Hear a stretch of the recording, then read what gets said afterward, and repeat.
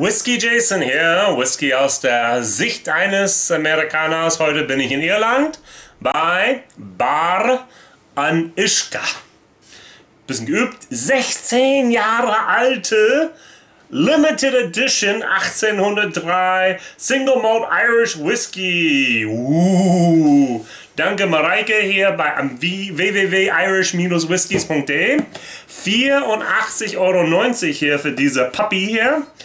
Ähm, und ja, da muss man schauen, ob das Ding hier sein Geld wert ist. Es gab natürlich eine begrenzte Anzahl, natürlich 1803, genau wie 1803. Und das ist etwas, worauf die sehr, sehr stolz sind. 16 Jahre alt, ich habe Flasche Nummer 1359. Ähm, Gibt es auch eine Flaschenteilung dazu. Und ich mache das hier mal auf und schau mal, was denn daraus wird. Sein ganzes Leben hat er in einem First Fill Kentucky Bourbon ähm, Fass. Ich finde es immer interessant, dass man langsam jetzt hier nicht First Fill Bourbon, sondern ein First Fill Kentucky Bourbon. Also nicht, dass es dann aus Tennessee kommt und Jack Daniels ist oder ob es nicht irgendwie aus woanders jetzt mittlerweile kommt, wo es viel Bourbon ähm, auch hergestellt wird. So, ähm, wie Chicago oder sonst wo. So, eine schöne Flasche. Ähm, auch eine interessante Dose. Also die 16 Hand angeschrieben jetzt hier.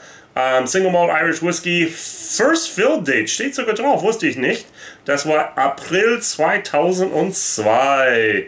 Sehr, sehr gut. Also, ähm, was ich nicht herausgefunden habe, war, ob es Double or Triple Distill ist. Eine gute, gute Frage. Ja, um ganz ehrlich zu sein, ich habe nichts gefunden. Ich habe nochmal gesucht. Ähm, steht auch kein Whisky-Base-Nummer noch, noch nicht drin mit den 16 Jahren. Also schaue ich mal, ob ich das herausschmecken kann. Zweifach oder dreifach destilliert. Ähm, ich habe mich bisher wenig mit dieser Abfüller beschäftigt. Abfüller muss ich sagen, weil sie haben auch keine Absichten, ihre eigene Brennerei denn dort ähm, zu gründen. Alles, was sie tun, ist tatsächlich mit ihrer Farm Springwater, also auf dem Bauernhof, ihren Quelle, haben sie denn dort und dann nehmen sie den Whisky runter, von Fassstärke dann hin auf 46 Prozent. Ähm, der Red Cross ist der Ort und dann ähm, die Kirche, was dann gebaut wurde in der Nähe davon, das heißt in den Ort ähm, Baraiski ähm, ist natürlich hier ähm, 1803 die Kirche gebaut worden, deshalb 1803. Ungefähr eine gleiche Zeitraum hat die Familie denn dort vom Ian Jones ähm, tatsächlich eine Pub eröffnet, eine Kneipe und deshalb hat er sein eigenes Kneipenwhisky, kann man es so sagen. Ja, mehr gibt es echt nicht dazu zu sagen. Es gibt eine 10-jährige Whisky, es gibt eine Small ähm, Batch Blended Irish Whiskey 80% ähm, Grain, 20% Malt. Und ich werde ganz bestimmt nicht diese Sache hier damit vergleichen, sondern ich habe beschlossen, hier einfach mal auch eine 16 Jahre alte Irish Whiskey rausholen. Und das ist hier der Turconel 16-Year-Old. Ich weiß hundertprozentig, dass das vom Cooley kommt. Und das ist auch eine, einfach eine interessante Abfüllung.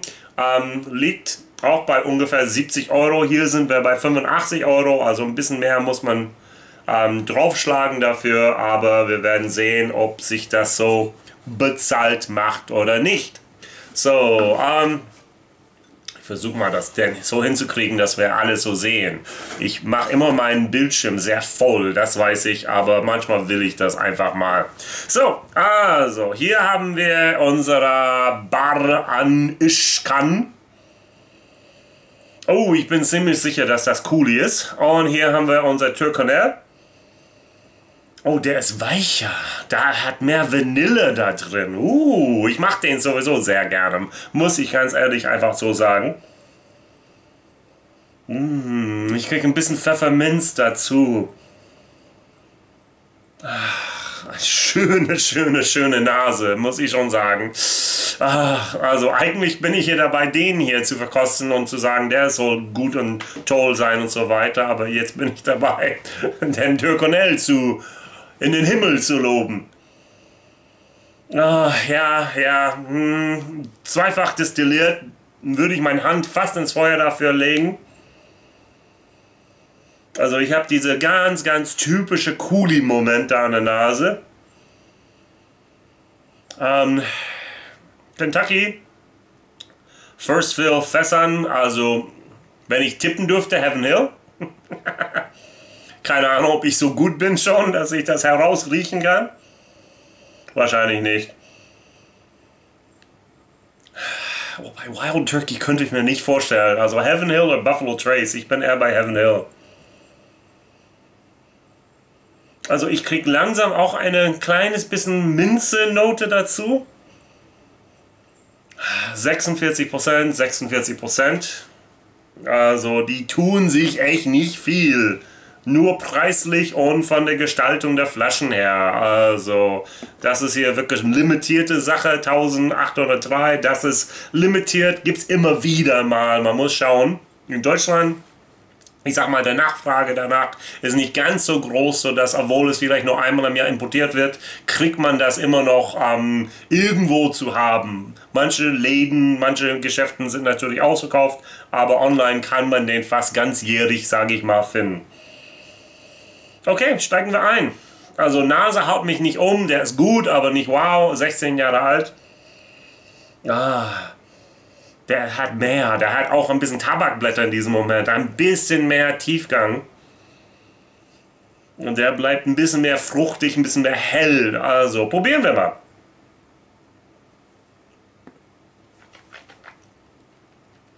Mhm.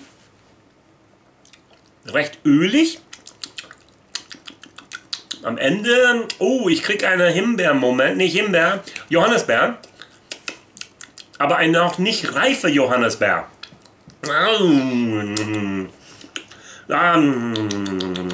Vanillig, Hauch vom Holz. Okay. Also ich werde den nochmal nippen und dann gehe ich hier rüber zu Turcanel 16 und dann werde ich meine erwartete vernichtende Urteil aussprechen. Ah, entwickelt sich langsam meine Nase, das stimmt. Da kommt mehr Vanille, da kommt mehr Malz, da kommt ein bisschen auch hier vom Beeren durch. Wir brauchen ein bisschen Zeit vielleicht im Glas. Man sagt ungefähr eine Minute auch im Glas für jedes Jahr im Fass.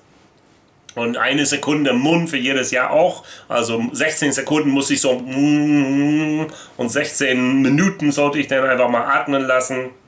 Und das ist eine frische, geöffnete Flasche. Mein Konzept für meine Whisky ist mein erster Eindruck. Was sagt mir dieser Whisky? Nicht, was ich sage, nachdem die Flasche da unten ist und ich schon so viel probiert habe. Kann ich nicht. Ich habe nicht mehr so viel im Leben, dass ich jede Flasche bis da unten trinken könnte und sollte. Mhm. Mhm. Mhm.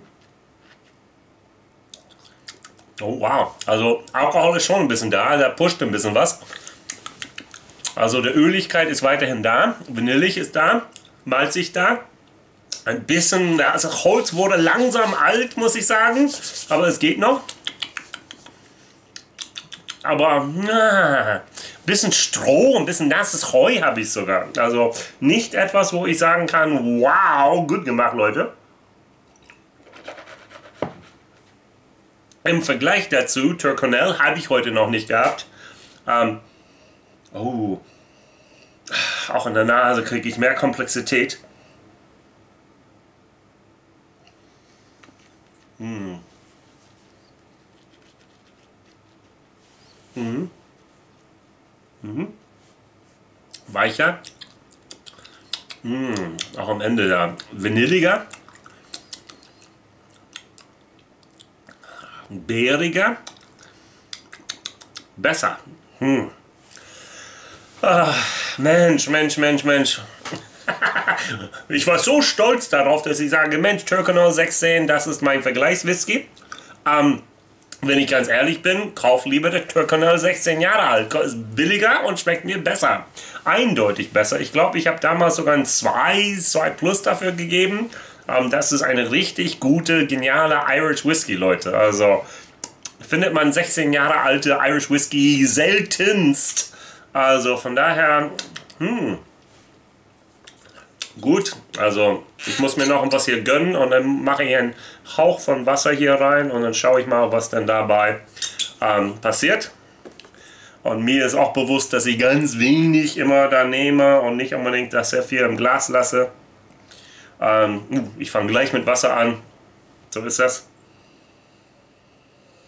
Also ich kriege jetzt hier, habe ich gesagt, ursprünglich ähm, noch nicht gereifte, noch nicht ganz gereifte äh, Johannisbeeren. Und ich gehe dazu und sage noch nicht gereifte Erdbeer. Also Anfang Mai Erdbeeren, die, die noch hart sind, ja.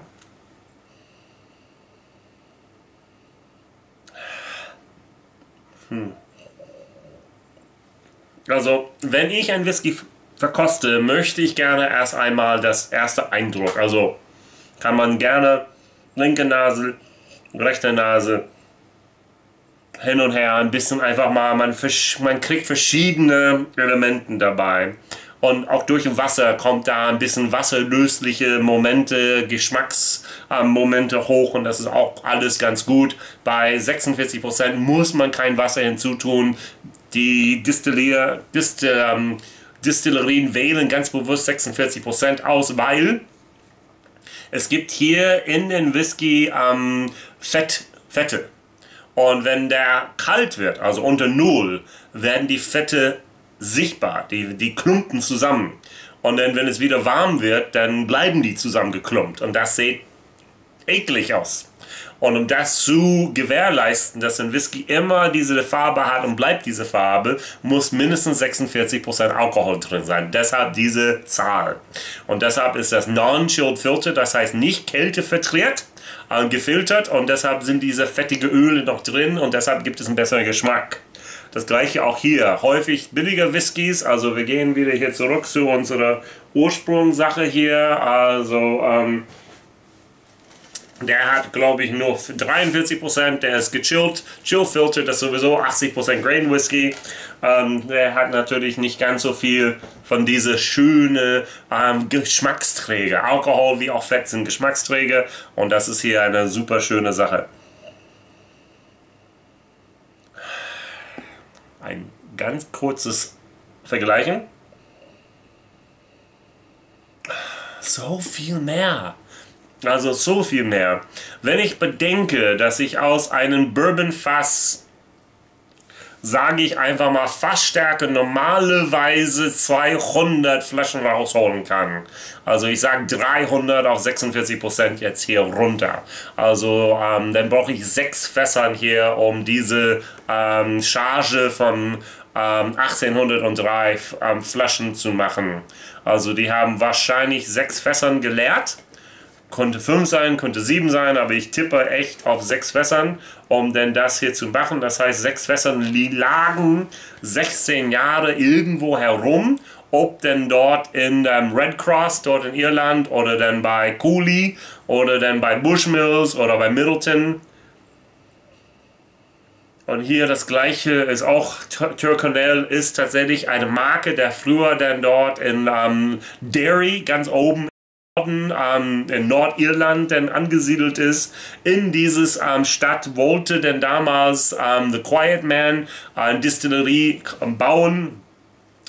Äh, der Besitzer ist krank geworden, Krebs, und ähm, hat auch tatsächlich eine Partnerschaft dann mit der Vereinigten Staaten geschlossen. Allerdings hat der Investor kurz vor Schluss den Stecker gezogen. Er sagt, Edge Badge, du kriegst kein Geld, die Banken haben alles zugemacht und damit war der Projekt dort, The Quiet Man, tatsächlich gecancelt. Ähm, Michael Morris, der ähm, Sales Executive da, den ich auch interviewte, als ich in Derry war, im Sommer 2018, hat das sinkende Schiff schon verlassen, ist ganz woanders hingegangen. Also ich bin gespannt, was bei ihm jetzt hier im März 2019 hat er mir auch schon ein Interview versprochen, ähm, rauskommen wird. Also das wird interessant sein. Aber Turconnell war damals in Derry beheimatet. Der Marke wurde längst aufgegeben. Cooley, als er neu angefangen hat, das heißt ähm, John und Jack Teeling damals haben tatsächlich diese Marke einfach aufgekauft und das wieder rausgebracht und deshalb der Tyrconnell ist dieses Rennpferd, der damals gewonnen hat. Ach, keine Ahnung, wann war das jetzt hier? Das musste 1762 gewesen sein.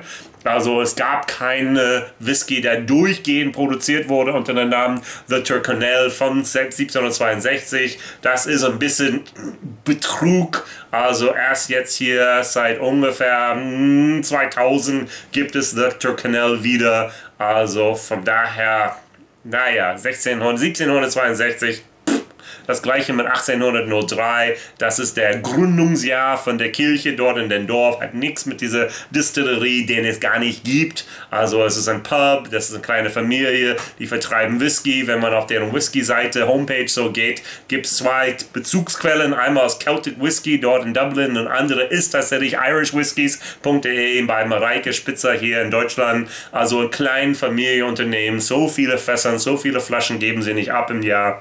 Und das ist ganz okay. Zeit gegeben, das im Glas sich zu entwickeln, der ist gut. Hm. Mhm. Der kriegt weiterhin bei mir ein 2. Also vielleicht 2 minus, 2 plus an manchen Tagen. Oh, netter, schöner Abgang. Mm. Wow. Also, ein Moment. Water Time. Water Time. Viele Leute haben Cracker Time gewünscht und ich baue einfach mal Water Time ein, jetzt hier zu zeigen. Tut sich einfach. Der ist nicht der qualitative am Gegenüber, den ich erhofft und erwartet habe.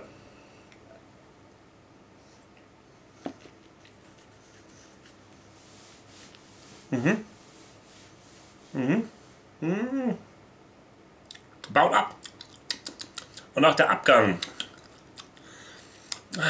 Wie ich sagte schon, der Holz kippt langsam.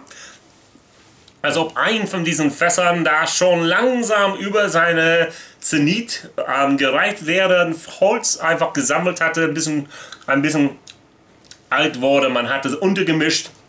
Ähm, ich als, als Whisky-Nerd hätte gesagt, langsam sollte ein Finish dazu kommen vielleicht ähm, hätte man das auch anders machen können. Der ist eine 3 Ähm, kann ich dir eine 2 minus minus geben mit gutem Gewissen? Ich bin in meinem Gedächtnis hier, alle verschiedenen Irish Whiskys nochmal durchzugehen und ich würde einfach ehrlich sagen, nein. Also 3 ist berechtigt. Ähm, 2 minus minus vielleicht an einem guten Tag, aber heute ist offenbar nicht mein guten Tag. Ähm, Preis-Leistung 84,90 Euro, also ein 4 Plus. Lieber der Tyrconnell hier nehmen. Ich glaube, ich habe den für 64 Euro damals geschossen. Also das ist hier 20 Euro billiger und schmeckt besser.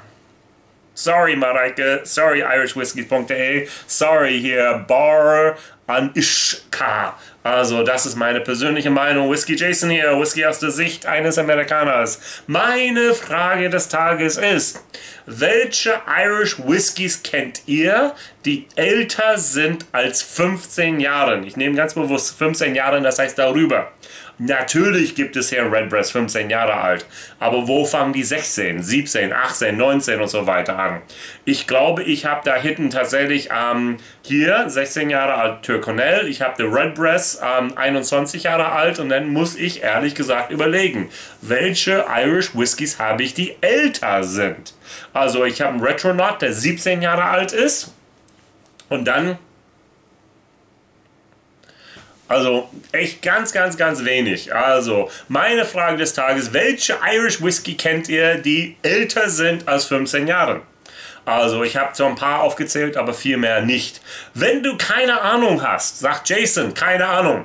Also Google, also sprich YouTube, hat gerne ein paar Kommentare, ein paar Interaktionen, das hilft sehr gerne. Oder einfach sagen, Jason, Watertime ist cool. Oder Jason, lass das mit Watertime. Ein paar Kommentare ist einfach mal begehrt. Danke. Whiskey Jason hier, Whisky aus der Sicht eines Amerikaners. Liken, abonnieren, immer wieder neu auf meiner Sample-Liste schauen. Gibt's auch, gibt's auch. Und dann auch dann ähm, bei Amazon irgendwas anderes kaufen, hilft sehr. Jeden Tag 17.30 Uhr kommt ein neues Video raus, beziehungsweise am Sonntag 21 Uhr Livestream mit Whiskey Jason hier, Whisky aus der Sicht eines Amerikaners. Bye bye.